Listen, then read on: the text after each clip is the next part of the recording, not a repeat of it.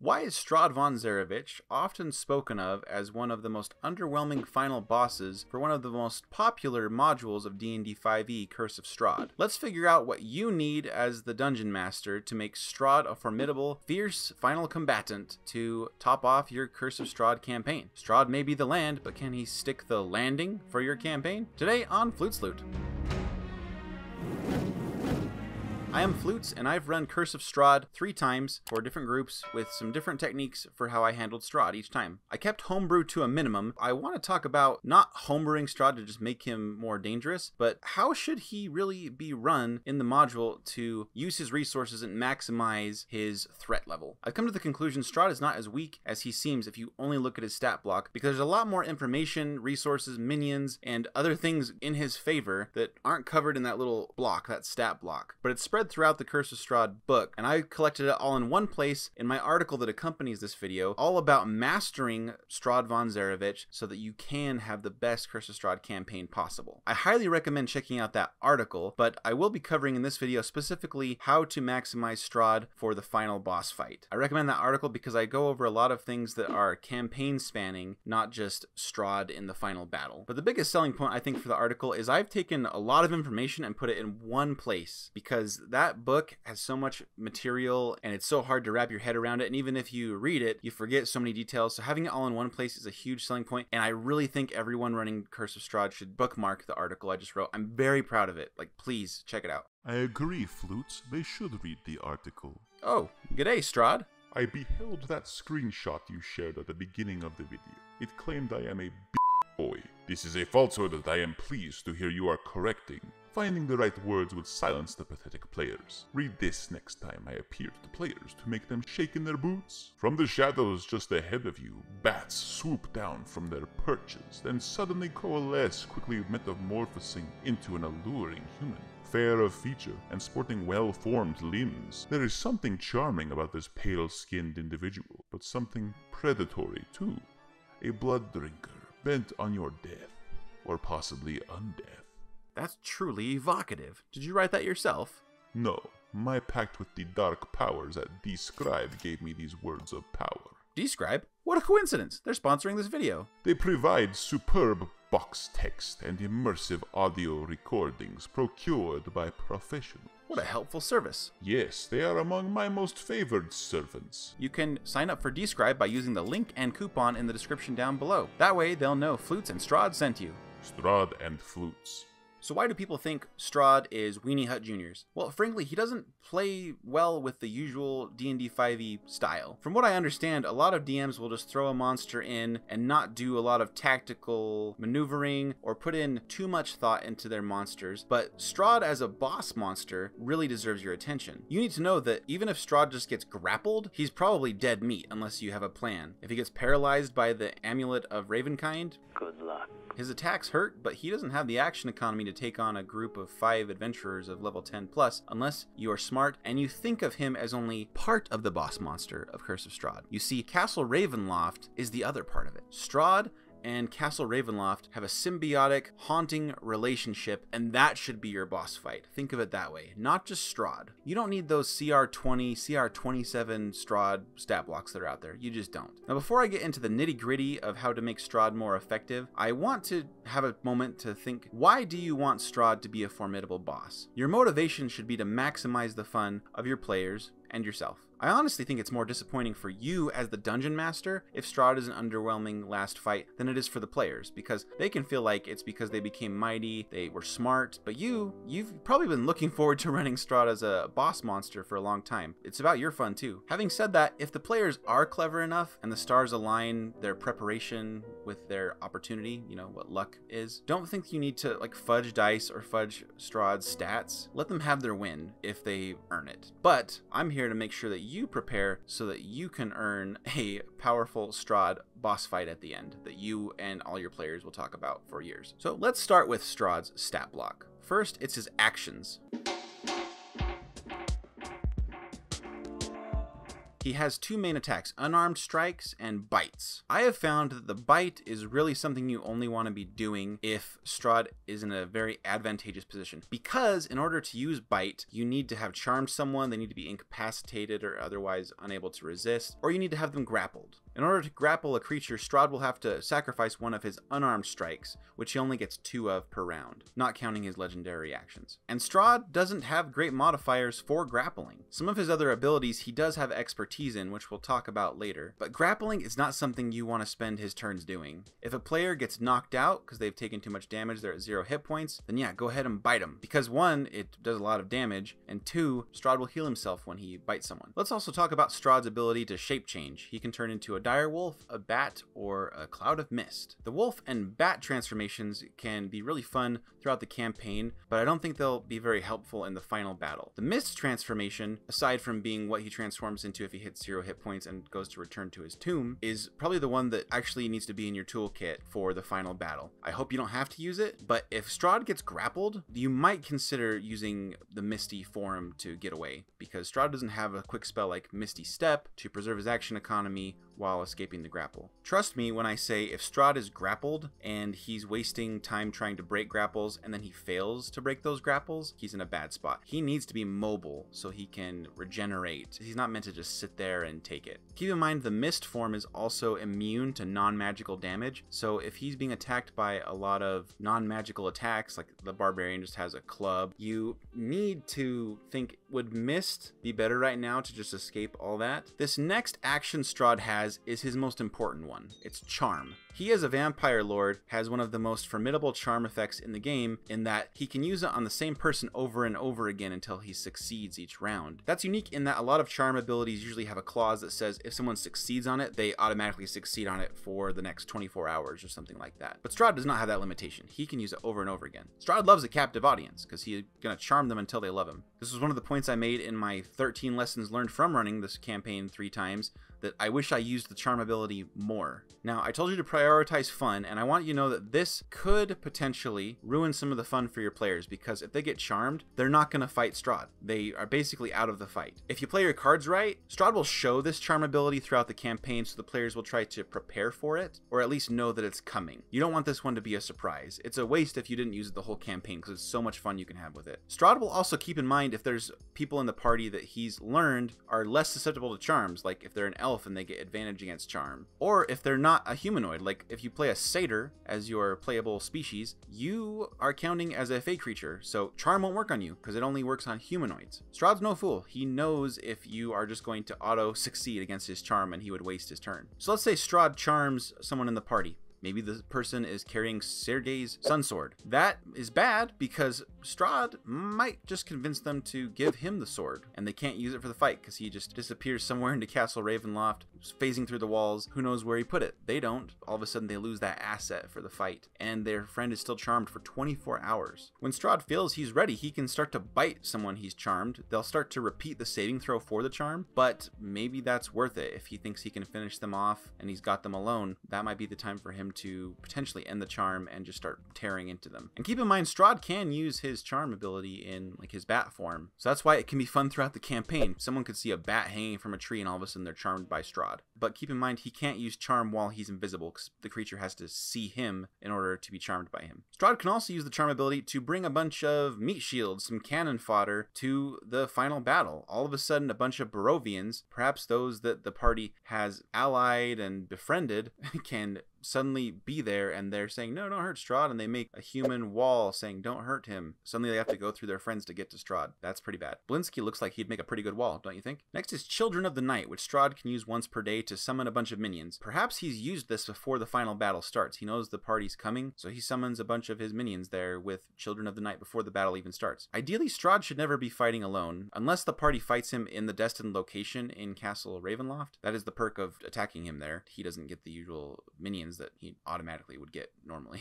Strahd should treat these summons almost like a meat shield for him as well. Uh, a bunch of swarm of bats should surround him and give him some kind of partial cover, and that is especially true if the adventuring party is going to try to just rush him in melee. All of a sudden, they'll be torn up by a bunch of swarms of bats, and maybe he'll turn into a bat and just disappear into the swarms. If you do want to attack with these beast summons, they are not very powerful, so they should go only for those with low armor classes, or they will just waste their turns. Frankly, if the party is attacking the bats, maybe have the bats take the dodge action. They soak up more attacks.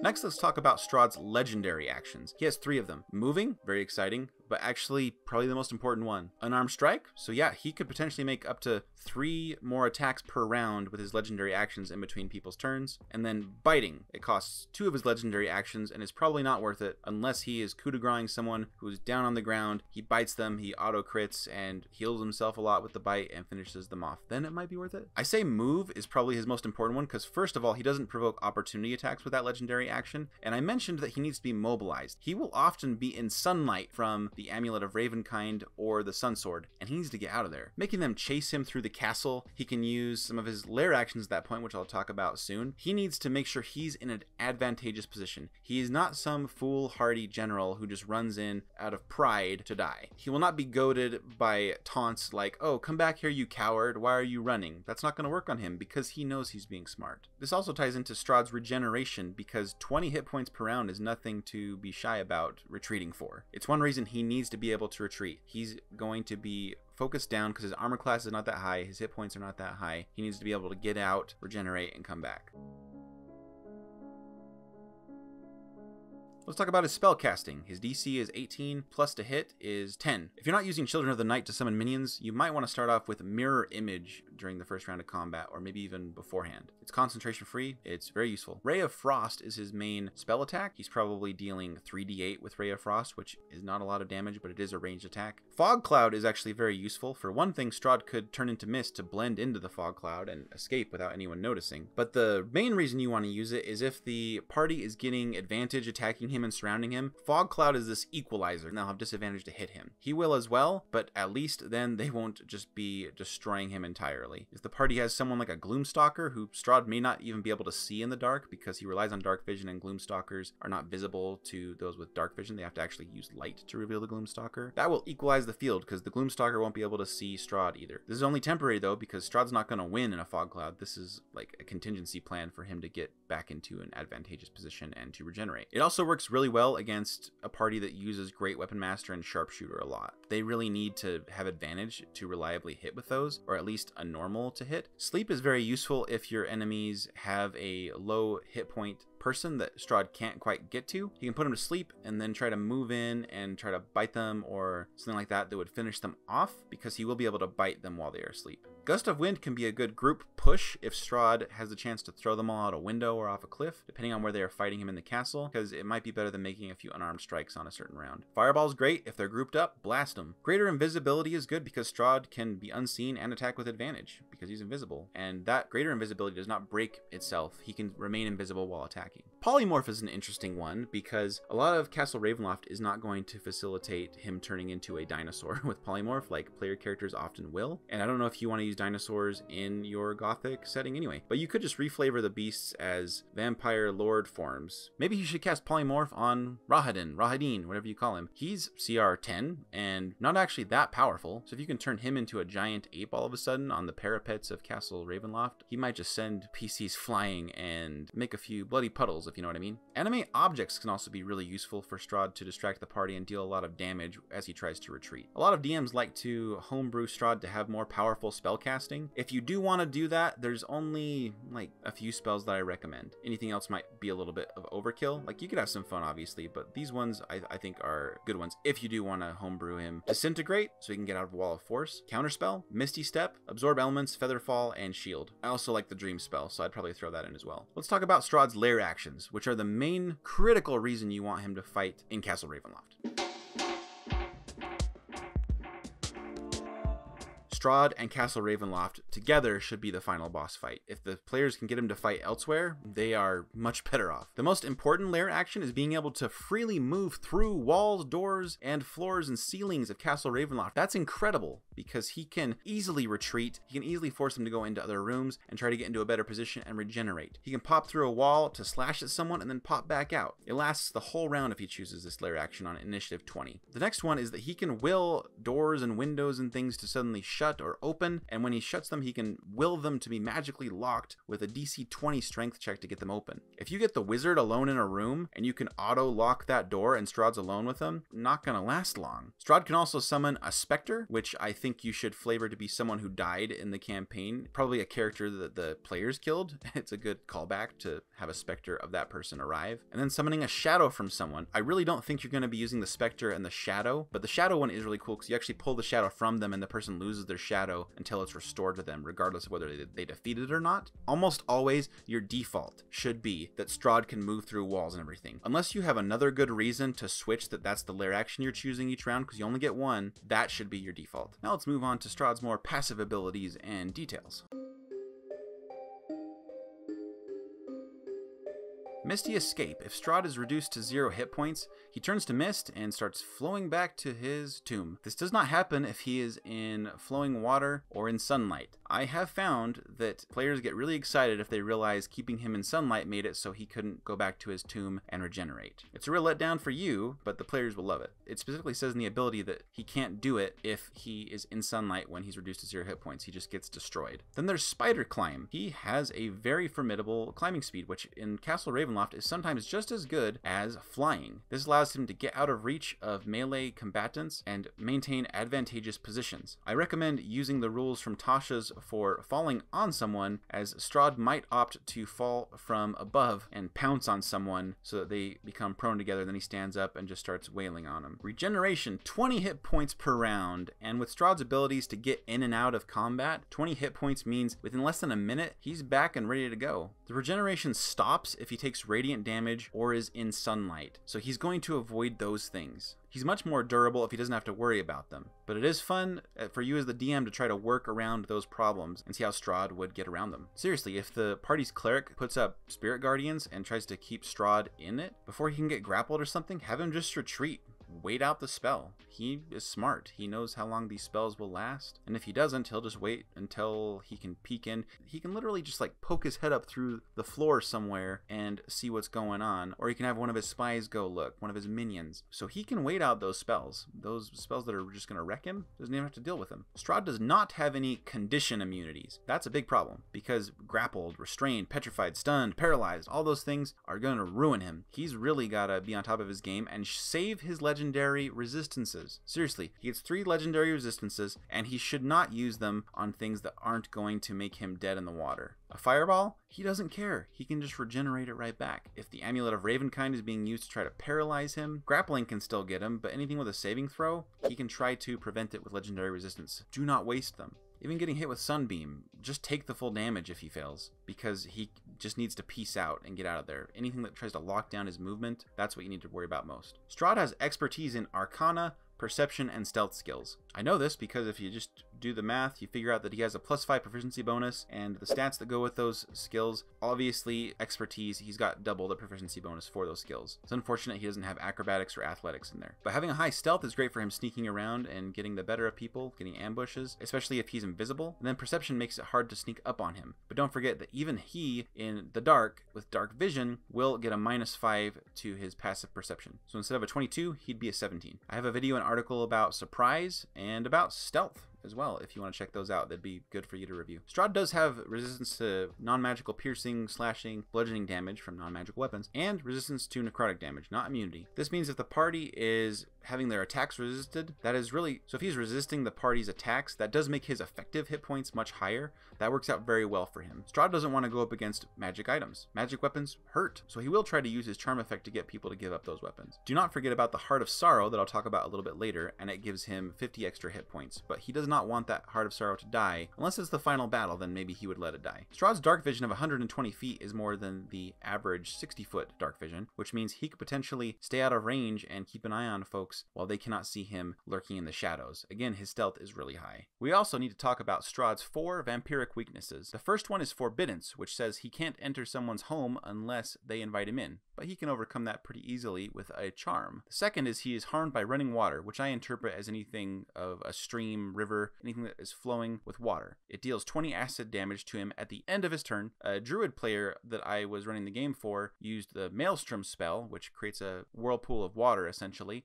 and was very pleased to see that Strahd was taking acid damage from it as well as having his movement limited. The third weakness is a stake to the heart. If he's stabbed by something wooden through his chest, he becomes paralyzed, specifically in his coffin. And then sunlight hypersensitivity, which is the vampire's most famous weakness, the sun. Strahd will suffer 20 points of radiant damage if he starts his turn in sunlight. Remember that the running water and the sunlight will both disable his regeneration for a round, so he really wants to avoid those things. It's easier for him to get out of running water because he doesn't take damage until the end of his turn, so he has a bit of a grace period. But Sunlight, he needs to be a little bit more clever with his legendary actions. If he uses a legendary action to move before his turn comes up, then he can avoid taking the radiant damage. He might, almost at the speed of light, retreat with his legendary action to dart away, and if he can avoid being in that sunlight, he's going to be much better off.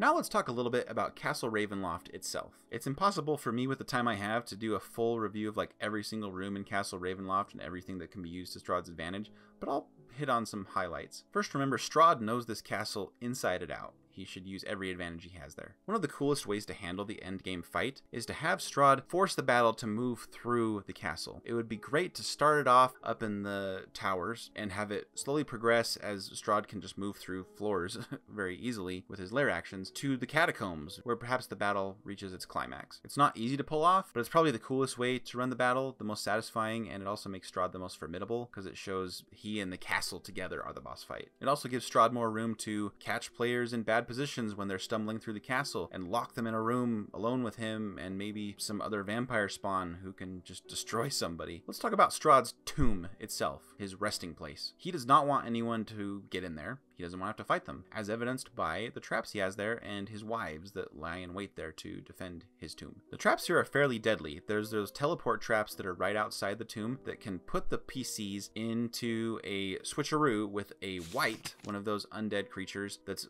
lying in one of the crypts nearby with a bunch of other wights. So one of your PCs ends up in a dusty coffin surrounded by a bunch of other wights in a strange place. They have no idea where they are. Super dangerous. Plus, whoever is back there where the teleportation happened in front of the tomb, there's now a wight standing there. So if the party's wizard gets surprised by all of a sudden their ally next to them is a wight that is very hostile to them, that's really going to put them on the back foot. That's crypt number 14, by the way, that has the wights in it. Crypt number 32 also has a teleportation alcove where if someone steps there, they get teleported to Strahd's tomb where they will be behind a heavy portcullis and they'll be alone with Strahd's wives who are probably going to be hungry. And maybe Strahd will be in there too. I mentioned the Heart of Sorrow earlier. It's in area number 20 of Castle Ravenloft. I like to point out that there are halberds on the walls near the heart that will come to life and fight the party. And keep in mind, those are able to do shove attacks, and there are no railings on those stairs, and it's a long fall. Those halberds are probably better off trying to shove someone off the side than just slashing at them. Strahd will also sense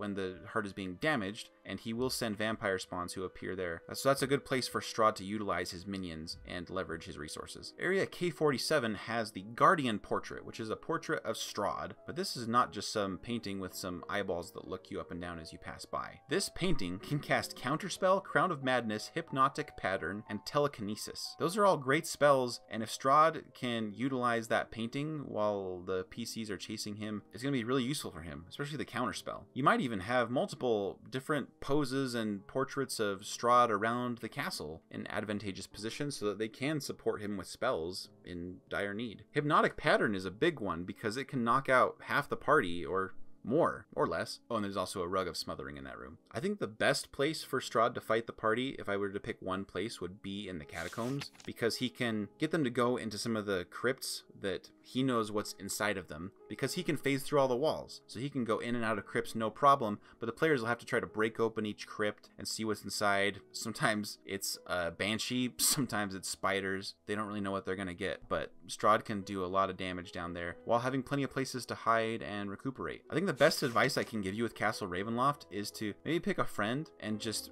do like a solo dungeon crawl through there and just see how well you can describe each room, how well you can get down the layout and which rooms go where. It really is difficult. It's it's labyrinthian. If you don't practice running Castle Ravenloft, you will fumble running the castle. That will feel like a big disappointment to yourself uh, when you're running these final fights and trying to make Castle Ravenloft part of the fight. You'll just feel like you had a missed opportunity. I know it's difficult in person to like get all the maps right, but at least know where the players are going so that you can at least do theater of the mind. With It does make it somewhat easier, but I found even when I ran this with Roll20, it was still difficult for me to know which stairs go where. You gotta practice. Gotta practice. Seriously, you gotta practice. One way that I found that I was able to practice was I had one of the player characters get captured after they picked a fight with Strahd at one point, and Strahd, when they tried to surrender, said, Well, this one's coming with me though. And they just had to do like groundskeeping duty with Cyrus Belview for a few days. The player actually tried to map out the castle from memory, like as I described it, because I didn't give them the map. Next, let's talk a little bit about minions of Strahd.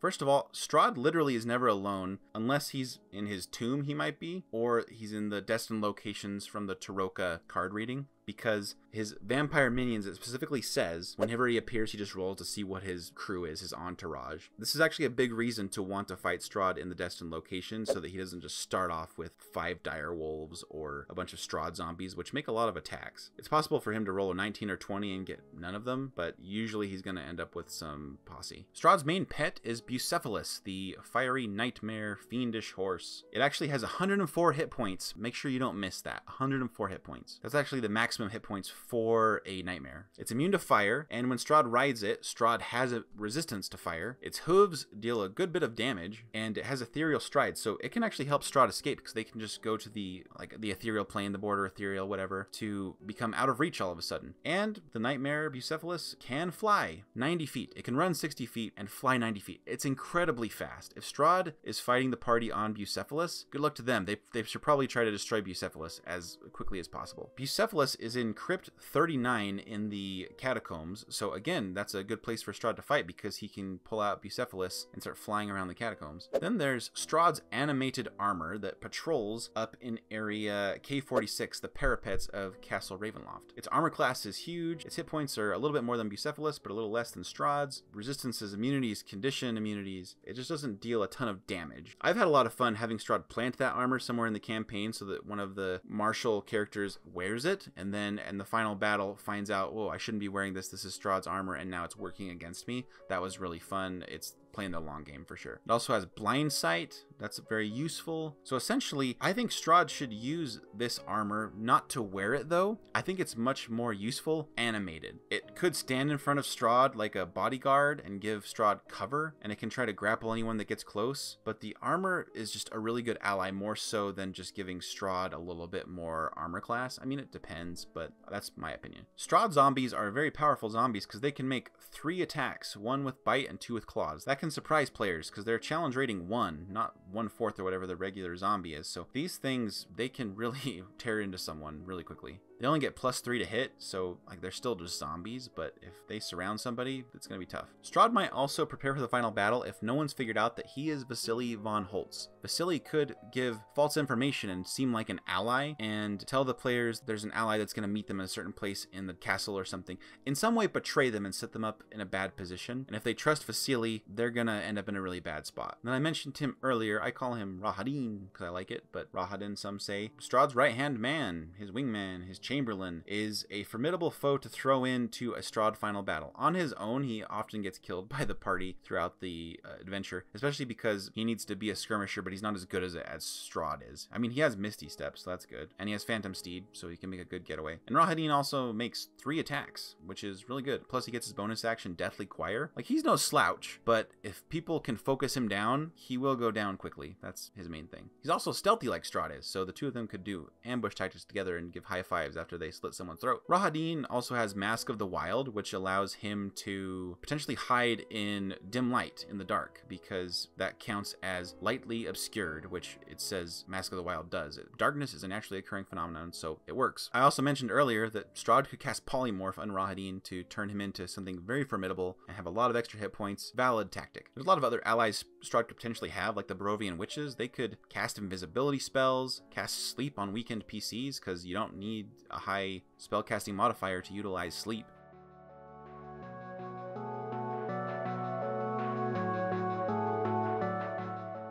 So what levels should the party be for a satisfying end battle? They become very dangerous at level 9 when they get things like Wall of Force, and so uh, keep that in mind. If they fight Strahd at level 8, they'll probably die if you use all these tactics. But if they're a little bit higher level, they have a few more tools and survivability thresholds that uh, it'll probably be a really good fight. I personally run where I usually had the end game between like level 10 to 14. And it also depends on the character's choices, right? I like to run the campaign with a lot of urgency so that things keep moving. They don't have infinite time to just go do every single quest before the end game kind of happens to them. And like I said, Strahd can force them to go to the castle by slowly taking their allies, charming them, putting them in the dungeons, or having dinner with them at the castle while they're charmed. But Strahd is not going to let the players just do what they want. If he, there's something he wants them to do, he's gonna make it happen. So things to look out for that would get Strahd destroyed. Wall of Force plus Sunlight from the Sun Sword or the Amulet of Ravenkind because sunlight goes into the invisible wall of force and it's possible that it blocks the floor, ceiling, everything in a dome so he won't be able to escape and he'll just get cooked microwave style. He'll be dead before Wall of Force is done. You could say like, oh, he tries to cast fog cloud. Maybe that makes it so the sunlight doesn't hit him. This is all very much a gray area. Like, does fog cloud block sunlight? When Strahd casts Polymorph, does he lose his weakness to sunlight? Players won't like that, I almost guarantee it. I haven't tried it. But Polymorph usually suspends things like that, so if Strahd casts Polymorph on himself while he's in a wall of force and he becomes a beast, maybe he's got a chance. It just feels like vampires shouldn't be able to suspend their weakness to sunlight, so I don't think people would like that very much. And I bet as I say that, you as a DM are like, nah, I'm not going to do that. That feels a little gamey. And you're probably right. Sergei's Sun Sword is a Strahd killer for sure. It deals the radiant damage and it creates sunlight. The Holy Symbol of Raven kind creates the sunlight. Most players will likely waste the charges on trying to hold Vampire on just Strahd instead of like Strahd and a group of Vampire spawn. And Strahd can just legendary resistance that away. It's the sunlight you gotta worry about. Powerful destined allies like Godfrey with the Sun Sword will terrify Strahd because they could 1v1 him very easily. Kasimir is also a problem, especially if he revives Patrina, because she's an Archmage with time stop and stuff. So that's bad news. Vasilka is also very strong, but at least he can use fire to try to scare her and make her berserk. And then you also got to watch for if the party tries to make Strahd mad and loses cool, which even if something happens to Ireena, Dark Powers keep killing her off, he can be vengeful, but I don't think he'd lose his cool. He does lose his cool, but does he get himself killed necessarily? I don't know. If he did that and someone pillaged Sergei's tomb, I think he loves Sergei more than anyone. That was the price he paid to, I don't know, buy Tatyana from the deal with the Dark Powers sort of thing from his perspective. It says he cries in Sergei's tomb sometimes, so I think he loves Sergei, and he'd get really mad if someone pillaged that tomb, which has some really nice plus two armor, by the way.